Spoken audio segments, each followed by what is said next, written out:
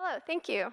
Um, as you said, my name is Anna. Uh, I work at MongoDB in Stockholm, and I'm going to talk about a project called BSON Transpilers. If I'm going too quickly, or if something doesn't make sense, just wave. I can kind of see you. Um, but I have a lot to get through, so I'm going to go pretty fast. So in order to tell you about BSON Transpilers, which is basically a meta transpiler, which means it's a piece of code that generates transpilers. So the first thing I'm going to do is talk about feature requirements. So what, from the user's perspective, brought us to write this piece of code? I'm then going to refine those feature requirements to technical requirements, so something that we can actually solve. And then lastly, I'm going to tell you how it works and how to contribute.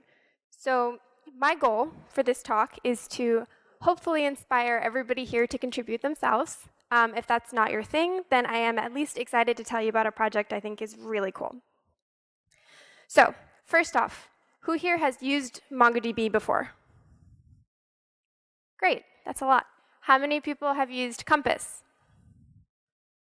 That is also a lot. Great. So for those of you who have not used Compass, Compass is basically the UI for MongoDB. So you can manage your data, you can do um, some administration, you can build queries and aggregations through our visual aggregation pipeline builder. Um, but I highly recommend checking it out if you haven't before.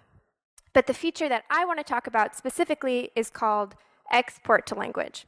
So the thing to know about MongoDB is that you write queries in the MongoDB query syntax. So like SQL, but MQL. MQL is made up of BSON, which is basically extended JSON. So when I say the query language or I say BSON, you can just think about it like extended JSON. So all of the MongoDB tools use a specific JavaScript-based syntax to write this query language. That's called the shell syntax because it's what the shell uh, uses.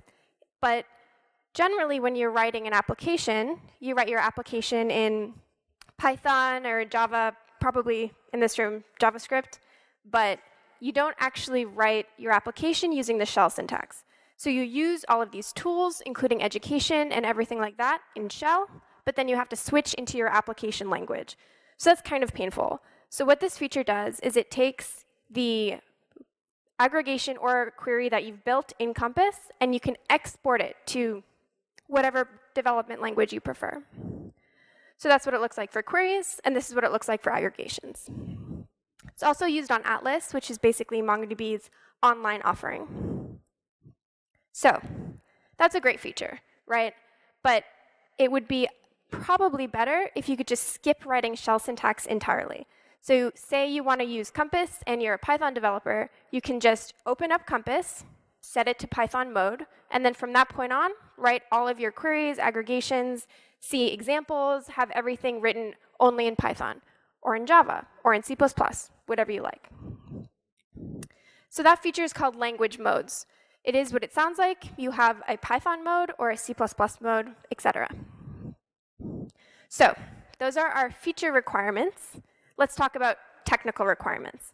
So as a developer, something I want to emphasize from the beginning uh, is that BSON, so basically extended JSON, is a complex enough subset of any given language that you need to basically parse the whole language. So we can make our lives easier later on by skipping stuff like class definitions, but generally, when we approach the problem from the beginning, we want to treat the problem as if we're translating from all of Python to all of C++. So that's important to remember. So to summarize, we have to accept queries in any language. We have to export into any language. What does that give us? Anything to anything. So this is what I mean by saying we transpile anything to everything.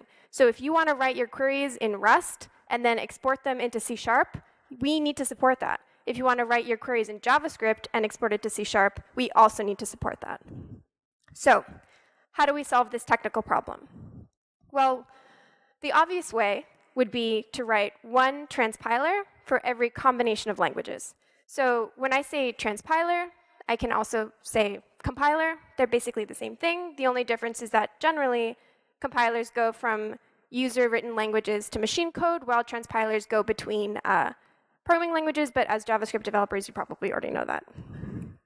So obviously the naive approach is not great. What do other people do? So we can do something called an intermediate representation, which solves this problem of having to write the same transpiler many times by having a intermediate data representation. So in one step, we transpile from our input language into an intermediate representation. And then in a second step, we go from that intermediate representation into our target language. So that looks like this. A uh, popular use case of this is LLVM IR. Um, so if you ever use Clang uh, or any tool like that, it's based on LLVM IR. So what this does is it transpiles all these different languages into this intermediate representation. It then transpiles it down into the platform-specific machine code. But you can see from this diagram that the targets are not exactly what we're looking for, right? So our goal is to go user language to user language. The goal of LLVM is to have platform support for basically anything. So if we were to use the LLVM project directly, then we would have to write transpilers that go from intermediate representation back into user-written code. And I don't know if anyone here has ever read uh, decompiled Java code, for example, but um, it's a mess. And you lose a lot of information when you go from human readable to intermediate representation. And it's a really hard problem to go back to something that actually looks like a human being wrote it. So we don't want to solve that problem right here, right now. So what about using intermediate representation but not LLVM? So just to give you an example, this is a really simple Python function. This is just a linear regression.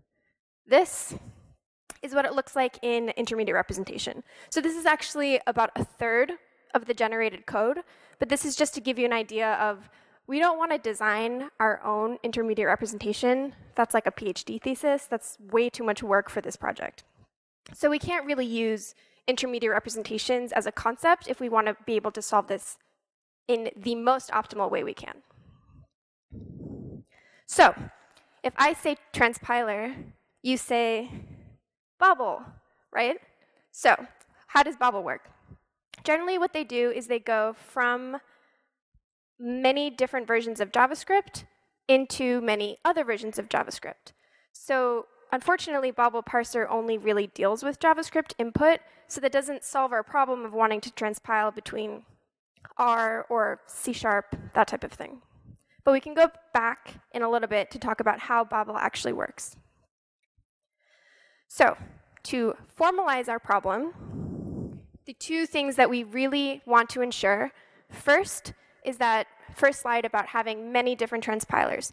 We don't want to do this in the slowest way possible in terms of development time, which means that we only want to have to do the work one time per language.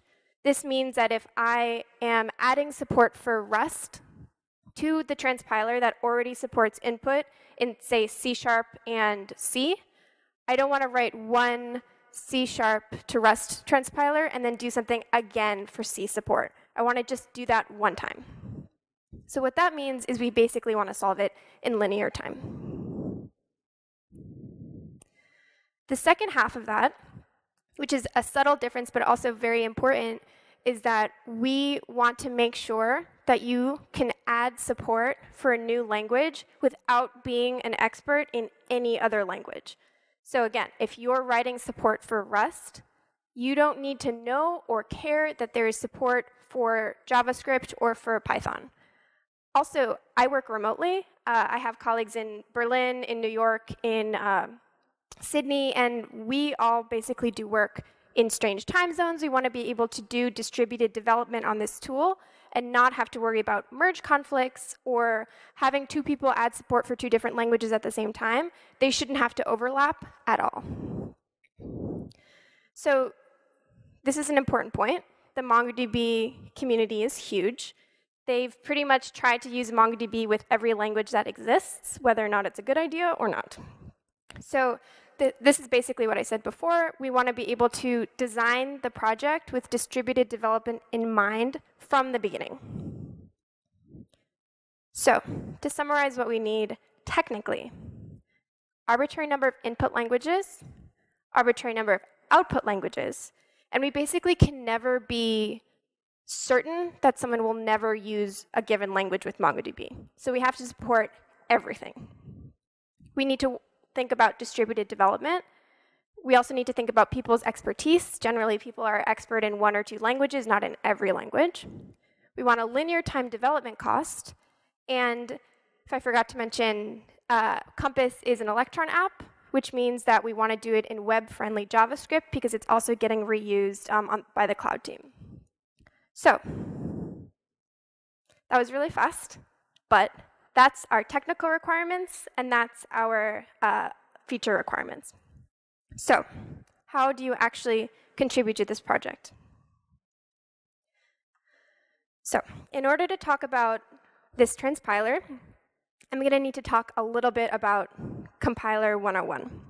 So if any of you have taken a compilers course before, this might look familiar. Um, otherwise, hopefully this is enough information to understand what's going on. So this is a general diagram of the stages of compilation.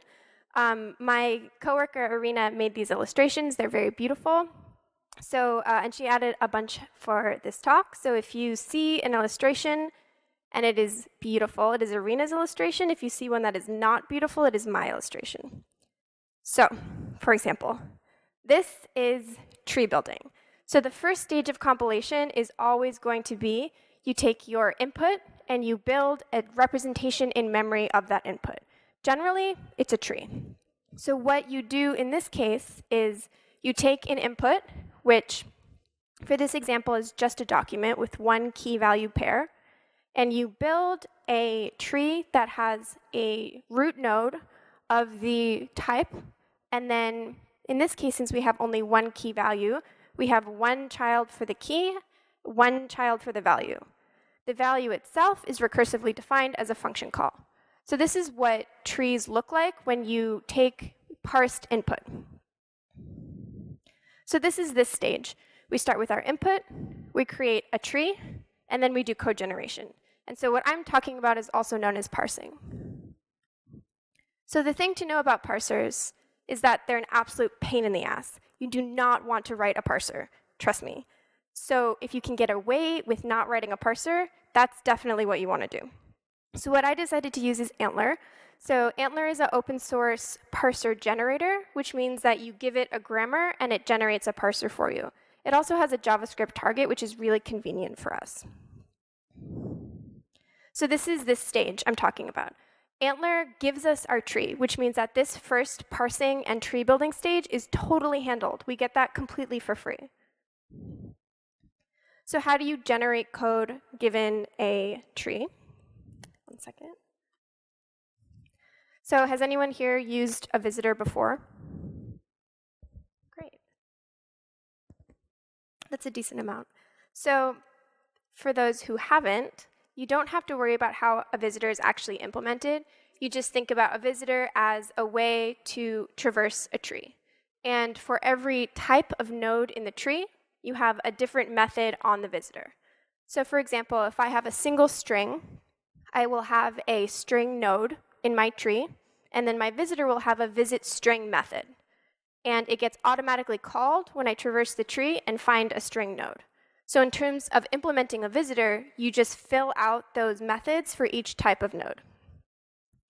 So for an example, say we want to transpile from JavaScript to Java. So for those of you in the audience with good vision, you can see that the difference between JavaScript and Java is, yes, these. So you have single quotes with JavaScript and you have double quotes with Java. So this is a really simple example, but it's also the building block upon which everything with this transpiler is on top of. So the first thing we do is we apply ANTLR to our input, and we get a tree. This is great because we do no work. We then apply the visitor. So what the visitor does is it's going to see, oh, we have a string node. Let's call our string method.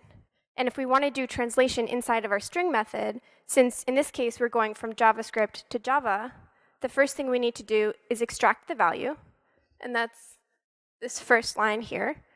And then just add double quotes around the value, and you have now translated your string between languages. So what does ANTLR actually look like? So what this show is showing you right here is just you have a binary expression, 1 plus 2. My left child is a 1, my right child is a 2, my middle child is the operator. So that's sort of the general idea of what a tree would look like for this case. I can actually show you what ANTLR generates. So what I'm doing here is I am using the ANTLR plugin for IntelliJ, which I highly recommend. Um, this is the grammar, so this is the definition of the language. I'm looking at ECMAScript right now. Can you see that? So if I want to see what a tree looks like, I can zoom, oops. Can make that really big so you can see that. And you can see that the tree actually gets generated from the input that I'm writing. So in this case, if I have my binary expression, you can see here, big enough? can make it even bigger. So I have all these other nodes, but if you look at the basic outline of the tree, you have an additive expression, you have your left child and your right child, and you have your operator. So that's what it looks like in uh, JavaScript. Let's try it in Python. So say I'm doing the same thing in Python. So if you see here, I also have an arithmetic expression with my left child and my right child. But you can kind of tell here that this tree is a different shape than the other tree. So the basic concept is the same. We'll always have an additive node with the right amount of children, but I have a bunch of other stuff going on here. So what is that stuff?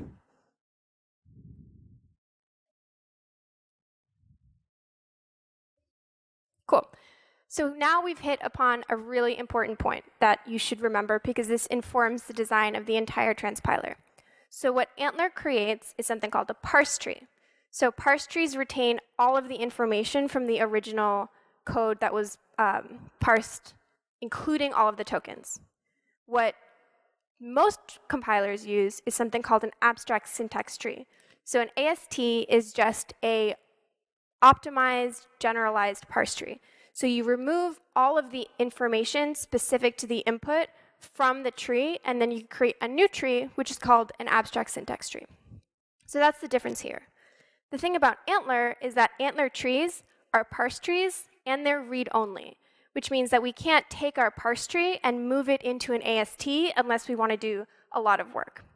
So we can't do exactly what Babel does, because if you look at this, you can see that what they do is first they create a parse tree, then they create the generated tree from the parse tree, and then they visit that generated abstract syntax tree. So what we are going to do is we have to visit that parse tree directly. So this is what our series of uh, stages will look like. We're going to go input, parse tree, and then directly to code generation.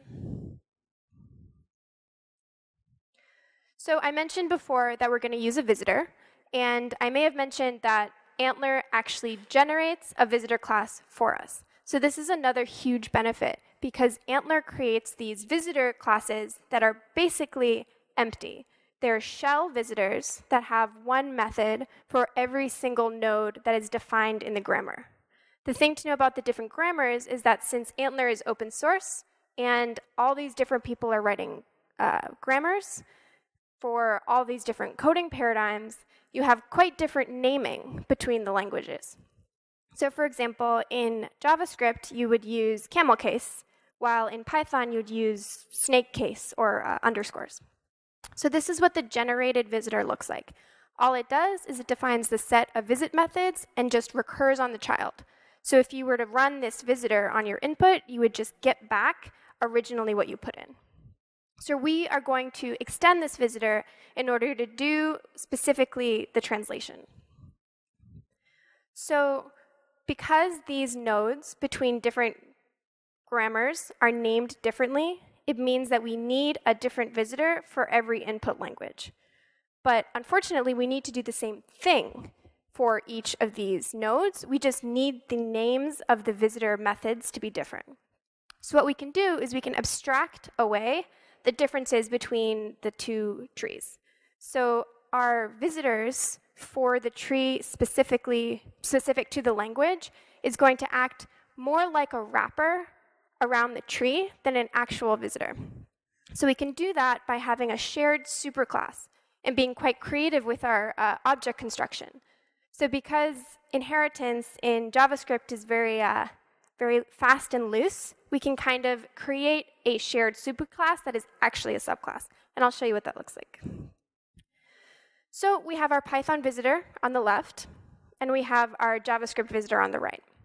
So if you can see the difference here is that these visit and expressions are basically just spelled differently. And so what we do in our shared superclass is we have our actual code generation logic. And so when you're doing a binary expression code generation, you do let me recur on my left child, let me recur on my right child, and let me combine the results into the actual uh, code that I'm generating. So what we're doing here is we're doing that in this shared superclass, but we actually call that shared superclass from the input language specific visitor. So what, this is what that looks like. So as you can see, I am generating an AND expression using two ampersands.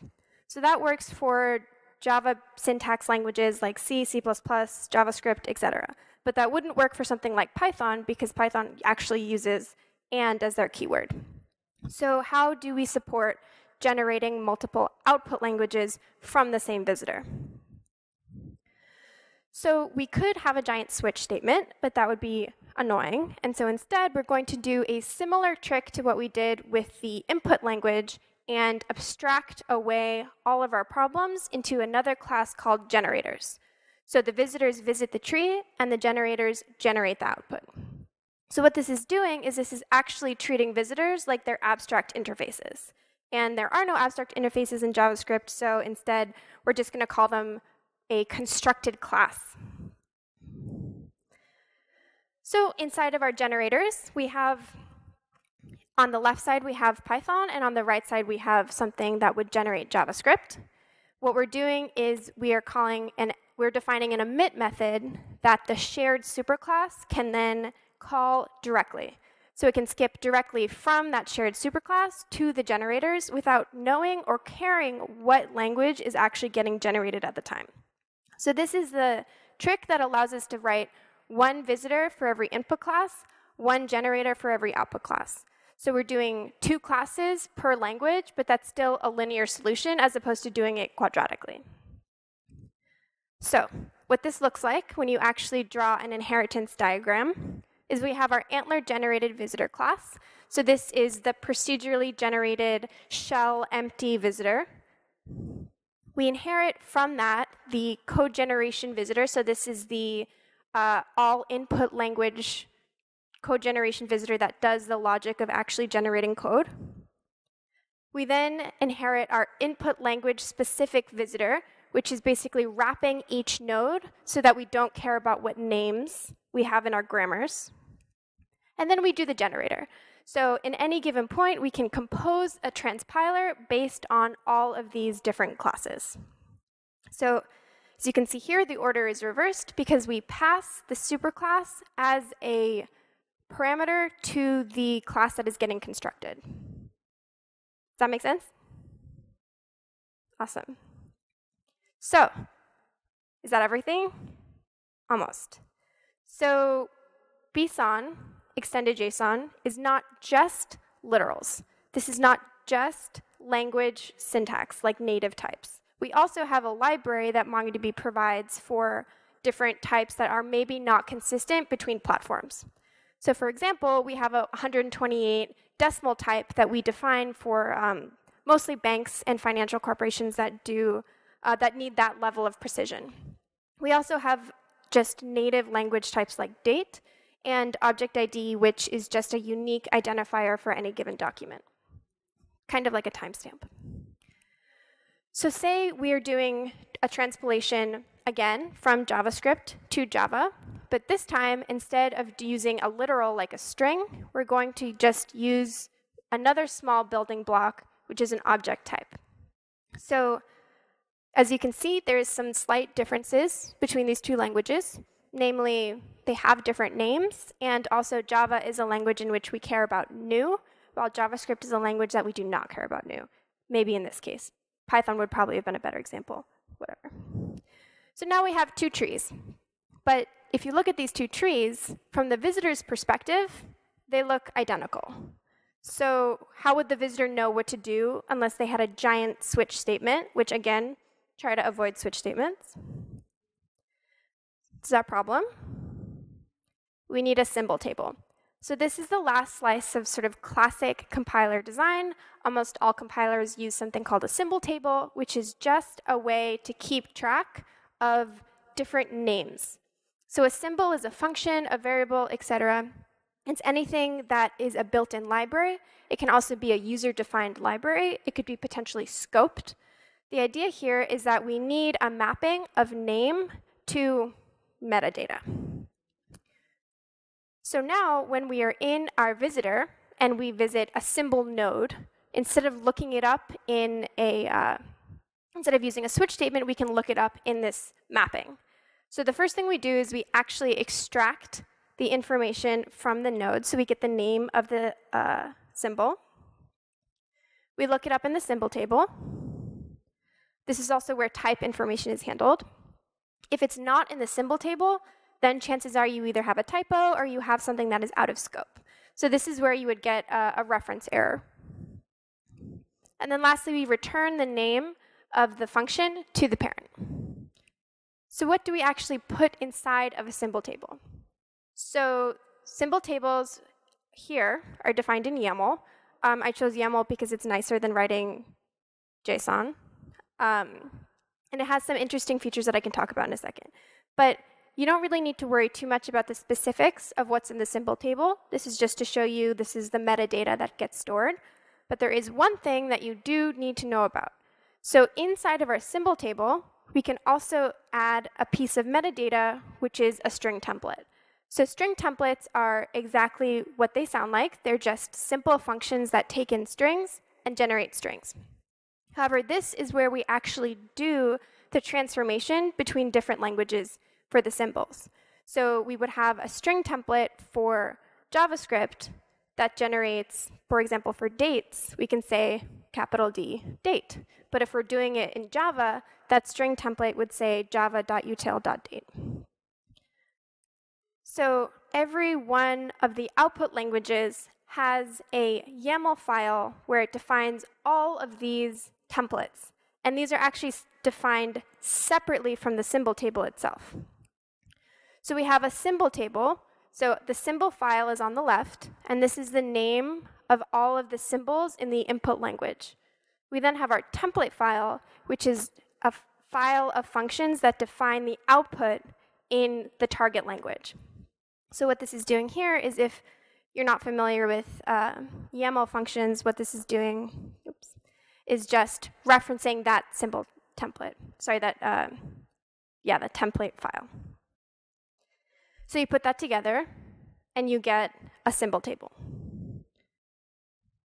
So now we have, if you remember from before, our composable transpiler.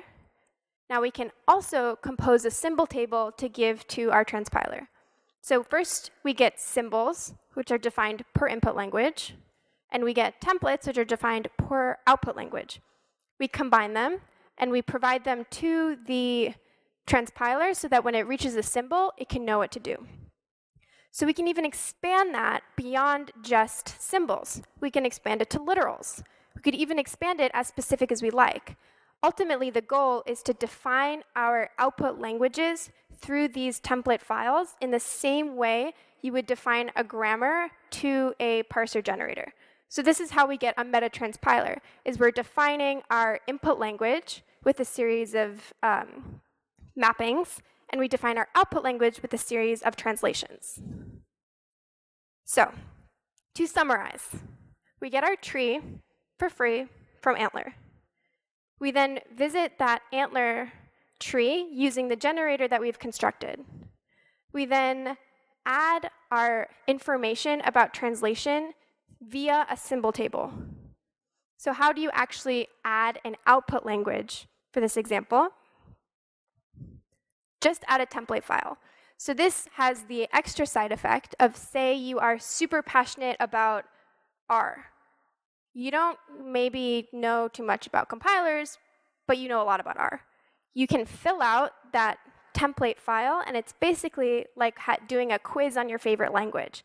What do you call a date in your language? What do you call an object ID in your language? If you fill that out, all of a sudden, you have support for writing queries and aggregations in for generating queries and aggregations in your favorite language. So to show you an example of how these templates are really simple, we're going to use long. So again, because different platforms have different implementations, MongoDB provides a long object. But because of coding paradigms between different languages, they have all different names. So in Python, it's called int64. So in our template file for Python, we just return the string int64 when we're given the template for a long. And then we get our result. For Java, there's the native long type, so we can just use that directly. Does the same thing, only difference is within the actual result that gets returned from inside the template. And then we have C Sharp, which does the same thing, but different naming. So as I mentioned before, you can expand this so that you can actually do the vast majority of the translation inside of the templates. This means that we don't even really need generators anymore. Generators were there at the beginning because we weren't thinking about symbol tables. There are cases in which we do want to use generators, and that um, is only when it's a very complicated edge case. So for example, Java has two very different coding paradigms. You can write things in document form, which can map directly to all the other languages, you have a document, key value, and you construct it that way. Or you could do idiomatic Java, which is basically function chaining, providing, uh, using all of these different helper methods that are provided by the Java MongoDB driver. So we could use either one of those. So what the generator does for Java is it basically says, do you want idiomatic code? If you do, here's this method chaining. Otherwise, we can defer to the templates and we can just generate regular Java. But that's pretty much the only time we're using generators anymore. So hopefully that wasn't too overwhelming and you have all of the information you need to write your own templates and add support for your favorite language to Compass. So if you want to write an output language, you write the templates. You want to write an input language, write a visitor. And by visitor, I mean specifically the visitor that just wraps nodes and calls the superclass so that you can normalize the tree that is generated from the parse from the parser so that it can be used by this shared code generation visitor. Uh, I want to mention that recently I expanded the uh, syntax so that it doesn't only generate um, queries and aggregations, it also can generate, it's kind of small, but it will generate driver code also. So say you want to connect to your server, given the connection information that you provided to Compass when you first started, it will generate code that will use the driver in the language you like to connect and then run your query or aggregation. So, I don't know how I'm doing on time, but I'm going to talk very briefly about future features. So we now have a pluggable transpiler. So we have a transpiler that we can actually plug some information into to tell it which language it should translate between. What else can we do?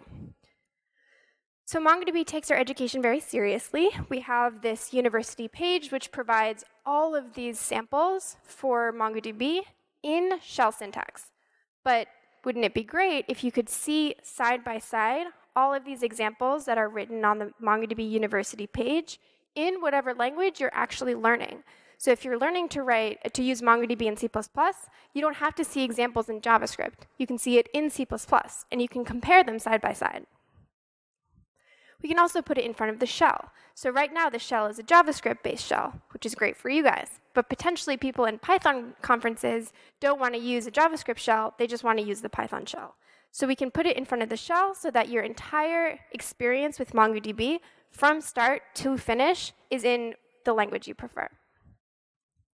We could expand it beyond query syntax, and we could expand it to entire applications. So if you wanted to write objects, functions, decorators, etc., you could do that because all you would need to do is subclass those nodes inside of your visitor.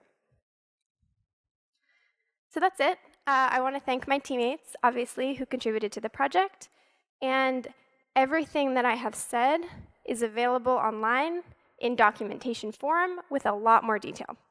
So uh, I'm also around if anyone has questions, if anybody wants to contact me and with help debugging, etc. I'm super passionate about getting people involved in this project, so if you have questions, I will answer them. You can email me. That's it. Thank you. One, two, one, two, three. Thank you for your talk. It was super awesome, and we can sit and relax and uh, answer some questions. Okay, can I take this off? Uh, please. We have so many questions. And the uh, first question is how to solve the problem if uh, in one language, in some, in one, uh, I don't know, any of the language, operations are associated from, from the left, left associated mm. operators, and in the other language, they have like right associated uh, operators. Is there a problem with that? What you would do, yes, there's a problem. Uh, but what you would do is you would then abstract the order of the arguments from the input language, from the shared generator, sorry, the shared visitor that applies to all languages, and you can abstract it into the input language specific generator, uh, visitor, sorry. So what that means is that instead of saying in your superclass visitor, like this dot get arguments, we already have to write this dot get arguments because in some languages it's called args, in some language it's called arguments, etc. So what we would do there is we would have the iterator be um, defined in the input language specific class. So that's for arguments, but for function calls and uh, stringing, um, it would be the same concept. Yeah, I get sense? it. Uh, the next question is, uh, do you have uh, some top-level UML class and sequence diagram of your transpiler? Like a huge paper on the wall? Not UML. I think the closest thing is that slide I showed with the different um, objects, there are only four pieces.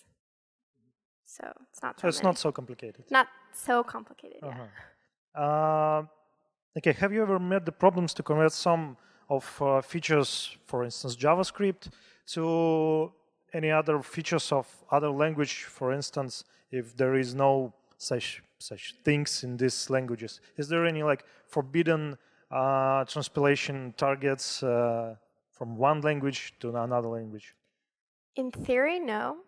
Um, because it's defined as supporting the MongoDB query syntax, and by definition, you have to be able to use MongoDB to the greatest possible capacity, and no matter the language. Um, anything MongoDB related has to be available for every language. Um, I think if you did expand it so that it was more than just query syntax, I think you'd have a hard time implementing like decorators in Python in other languages. It, you, it's doable, but it would be really annoying. Mm-hmm. Okay.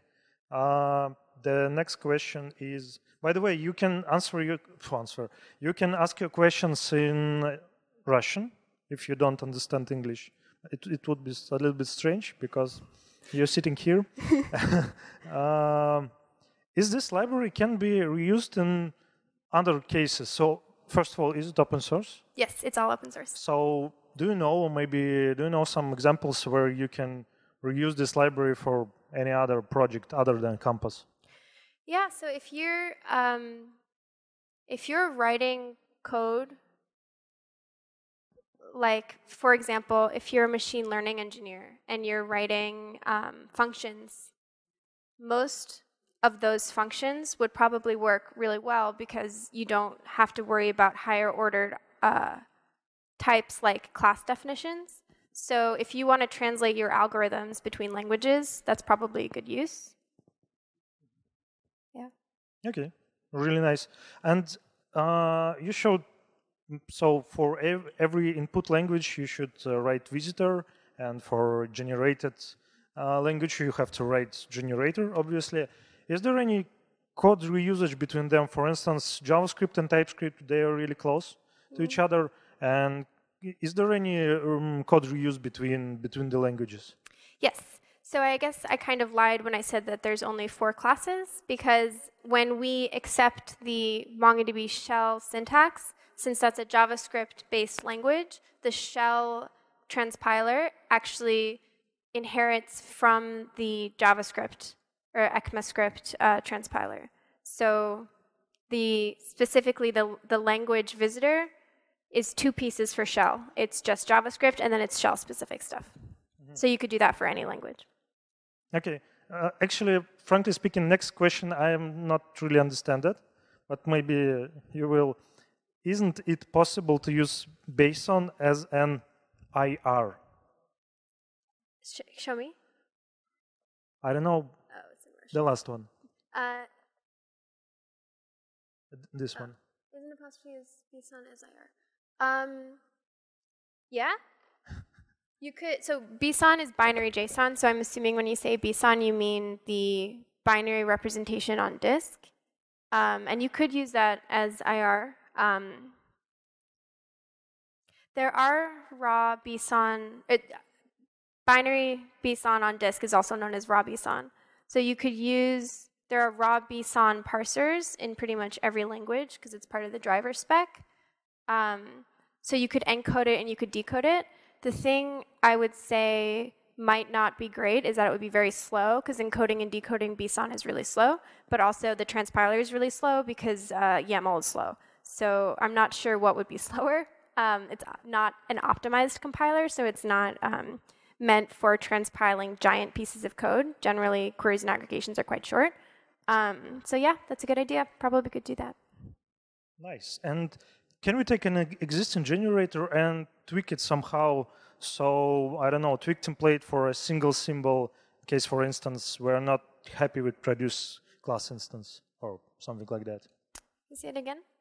Okay, uh, can we take an existing generator and tweak it somehow, like change uh, output for maybe for single symbol in case we are not happy? Yeah, totally. Um, uh -huh. You can inherit -huh. and override it. Uh-huh. Nice. Yeah. That's that's super awesome. And uh, another question is, uh, it's a bit general. Is what articles or books uh, you recommend to learn more about this stuff? Um, this stuff as like all transpilers. I don't know. Maybe. So the guy who wrote ANTLR has a blog um, that's really cool and really interesting. Um, the there's a blog post there that was my inspiration for the project, which is about how you could potentially write a transpiler by defining the output language within the original grammar that you feed ANTLR.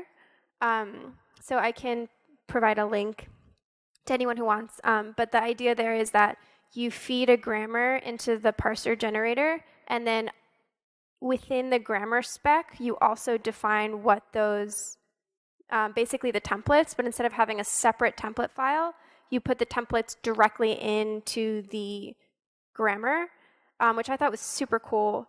It doesn't work for our case because then you have, again, you have only A to B. You, only, you have your parser definition and you have your output definition in the same file, so you can't swap it out.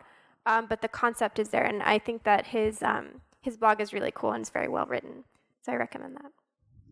And our last question is uh, what do you think about meta languages in general? Um, maybe uh, do you know Esperanto and other languages? So I don't. Yeah, so there is one natural language for for humans, mm. like meta language that we all speak in in uh. one language. Do you think uh, can we expect for for the future to have this one?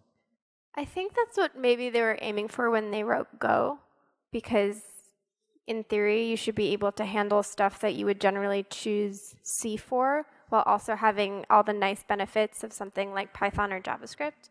Um, it's not really working out that way, although I do recommend Go. I think it's a great language. Um, I would love it if it was possible, but I think it might not be possible because people um, just stick to what they're really good at. And so if I've spent my whole career writing um, Python and I'm really good at it, I'm probably not going to hop over to a different language. Um, yeah, I guess that's my answer.